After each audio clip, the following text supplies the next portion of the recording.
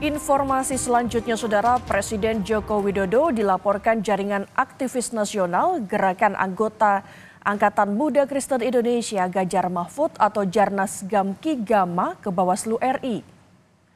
Jokowi disebut menggunakan fasilitas negara dalam mendukung salah satu paslon di Pilpres.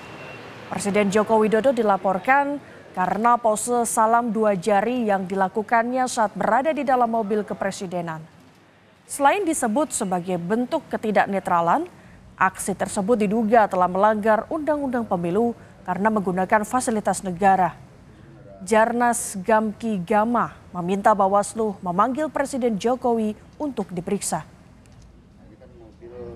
Uh, Joko Widodo pada saat itu berada di mobil uh, yang merupakan adalah fasilitas negara. Nah ini yang bagi kami tidak boleh dilakukan oleh seorang kepala negara, kepala pemerintahan. Nah itu yang kami minta hari ini uh, agar Bawaslu memanggil dan memeriksa Joko Widodo. Ya. Begitu. Sementara Ketua Umum Partai Amanat Nasional Zulkifli Hasan menyebut Presiden Jokowi telah memberikan pendidikan politik yang baik dengan tidak ikut berkampanye. Dan terkait pose salam dua jari Jokowi, Zulhas tidak mempermasalahkan hal tersebut. Jokowi punya hak untuk mendukung, memilih, tapi Pak Jokowi kan memberikan pendidikan politik kepada kita.